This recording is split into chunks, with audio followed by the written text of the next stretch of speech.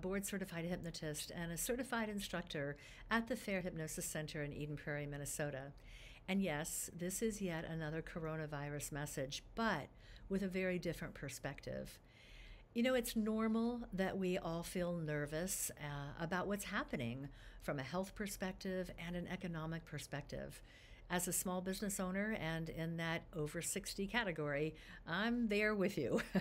But I want to point out something really important that extended periods of fear and stress are absolutely detrimental to your immune system. And so it's even more important to find opportunities to get away from that 24 7 news cycle or news feed.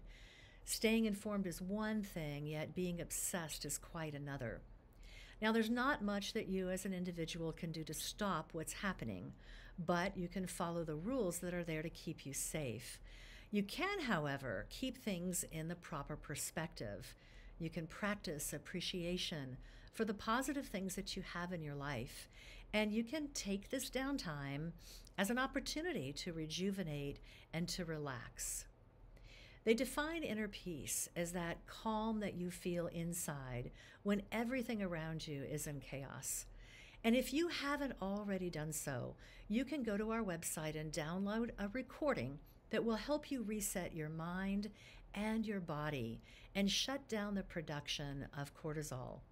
The release of endorphins and melatonin and serotonin will help you feel calm and in control. So go to FAREHypnosis.com, that's F A R E, slash inner peace, all one word, and download the recording to your computer or bookmark it on your mobile devices so that you can continue to go back to it and listen as often as you need to. We're also continuing to schedule online sessions, um, whether it's for um, any goal that you want to work on or you just need even a half an hour of R&R, we're here for you. I'm Roberta Fernandez, helping you take back control and unlock the power of your mind to reach your goals of any kind.